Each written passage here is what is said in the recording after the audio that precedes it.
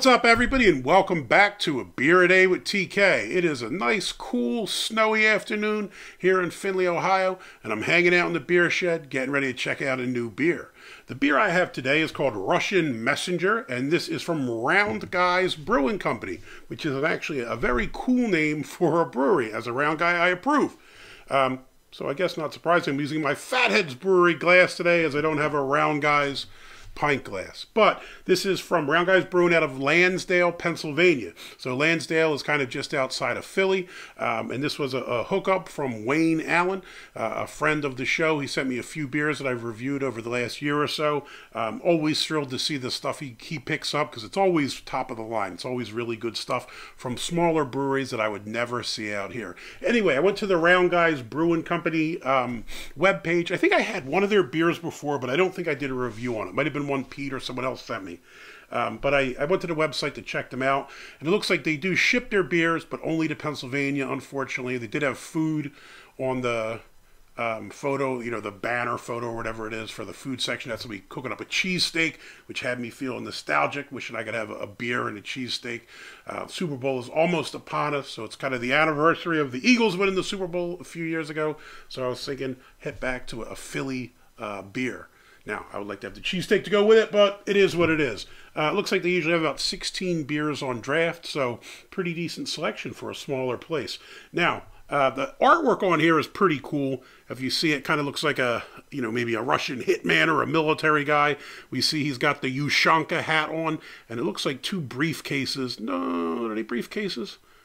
I think they're briefcases in his hand and some kind of machinery around him. Um, it said the cover art was done by John Comerford, so I'm guessing that's who, who put this together. Pretty cool. If I can find the link to him, I'll throw it down below. Um, see what else we have on here from these guys. Not much else. Just kind of their Insta and Twitter handles and Facebook and all that stuff. Looks like they're just Round Guys, Round Guys Brewery. Um, again, artwork is pretty cool. 9.8%. Huh, interesting. I'm looking at my card here and it says 9.6 on the websites, but it says 9.8 on here. So, I mean, I'll go with the can. I assume they know what they're that they know what they're doing and they're right, not Untappd or Beer Advocate or wherever I got that number from. So, um, like I said, Imperial um, Stout so hoping for something good here. Could we get any IB uh, ABV? We got IBUs, no listing. So ratings wise, this thing does pretty well on seven seven. Beer Advocate three point eight nine. Um, the aggregate score there was an 87, very good. I don't think there there might have been about 16 check-ins on Beer Advocate, but that's kind of par for the course. Um, Untappd tends to have thousands usually, where Beer Advocate's a little uh, less less representation, I think, because most people don't take the time to really fill it out. I have a little sticker on here. It says when it's canned, 10, 28, 21. So what is it now? We're February 6th or something. So, yeah, not too old. It's been sitting around a little bit, but nothing too crazy. I really like that they put that can sticker on there. A lot of times they stamp it and you can't even read the stamp and it's, you know, makes it difficult. The other thing, I guess, some styles hold up a little better than others. This is a stout, so I'm not super worried about it. As to the color, this is black, as you'd expect from a Russian Imperial Stout. Um, opaque, I'm not seeing anything through this. I'm putting it up to the light, and it's quite bright outside because the sun's reflecting off the snow, and I don't see I don't see anything. Now the head, kind of got two fingers worth. Nice kind of tan color head to it. Almost looks like the head on an oatmeal stout to me because a lot of times the oatmeal ones, I think they kind of look uh, like frothy at the top. but you kind of see divots in it. That's kind of what it looks like to me. Let's give it a sniff.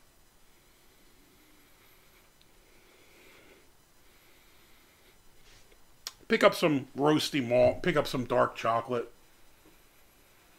Definitely a little bit of a coffee smell too, um, but it's not super strong. I'm not a big coffee drinker. I don't really like, I don't drink coffee at all. I can tolerate it in stouts, but sometimes when they get too much of a coffee taste, they kind of lose me there. Now, I went onto the website and it said, it had the description for this beer. And it said you should be able to pick up citrusy hops, roasted caramel malt, espresso, burnt sugar, and chocolate covered orange. Now, I'm a huge fan of those chocolate covered oranges where you crack them and they break into the wedges. Can't say I've had one for years, but they're quite nice. If this delivers on all those things, I'll be shocked because that's a whole lot going on. Let's give it a try. Cheers.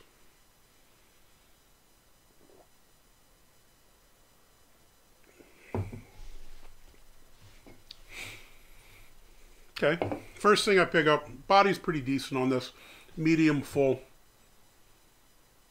I think I was just complaining about this in one of the other videos that I did. Um, when you get a stout and there's no body to it, it kind of kills it for me. And that being said, I know everyone's going to say, well, what about Guinness, TK? I don't know. I accept Guinness. Guinness, the body on a Guinness to me is not like a stout's body, but probably because it's the first stout I ever had and first stout many of us probably had. I don't know. I, I somewhat um, come to accept that. But generally speaking, I like my stouts to be a little a little more full bodied, a little thicker. And this one comes through. This is kind of on the, the medium full bodied side. As the flavors, you pick up a couple of different things. Um, I think the first thing that I pick up immediately is kind of the, the roasted malt. Um, it's kind of like a, a, burnt, kind of charred, malty kind of taste, which I quite like. Um, see what else we had in here. Espresso, I think, yeah, you could pick up the coffee type taste. Again, I'm not a huge um, coffee aficionado, so I don't really.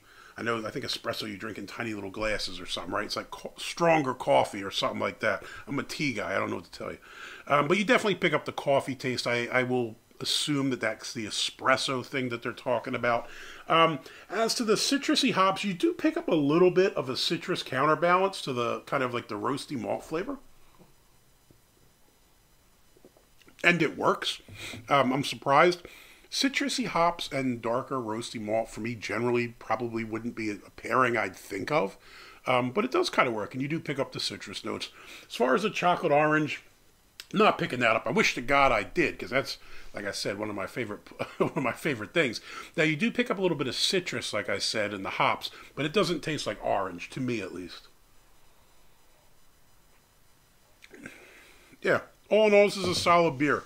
Um, roasted caramel malt. I, I, don't know that I taste. Usually with the caramel malt, you get a kind of a, a, sweet taste, and it tastes like caramel. Not surprisingly, I'm not really getting that as much. I get the the roasty flavors. I get the coffee flavor. Um, what else do we have? Pick up a little bit of the citrusy hops.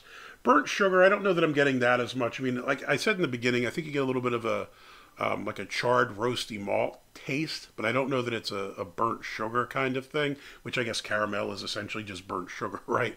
Or cooked sugar that turns into caramel. Um, yeah, I mean, all in all, pretty decent. I, I, I wish that it had the chocolate orange taste or they didn't put it on the can because I think that's something, or I guess it's not on the can, but it's on their, their website because that's something when you see it, I say, aha, I want this, and you expect that flavor to shine through, and it really doesn't compared to the others. Um, but, you know, all things considered, really good beer for sure. 3.77, 3.89 were the two ratings. I think that's pretty solid. Um, you know, kind of a, a, just under a four, and I think that's I would probably give it a similar rating, probably a three seven five or something, if I was on Untappd. Um, so you know, pretty good beer overall. Thanks again, Wayne Allen, for sending this out. I greatly appreciate it. Uh, I think one of these was also sent to Brian the Beer Snob, so if you check out his channel, there might be another review there. Uh, maybe he did pick up that chocolate covered orange or some of the other notes that I didn't, or maybe he's more of a, a coffee person. He can tell you if that is indeed espresso or if I'm just making stuff up because I don't know what coffee should taste like other than coffee. So, hey, um, big thumbs up for the beer. Big thumbs up to Wayne Allen for sending it out. And big thumbs up to everybody out there who took the time to like and subscribe. Greatly appreciate it. And I hope to see you all soon. Till next time. Cheers.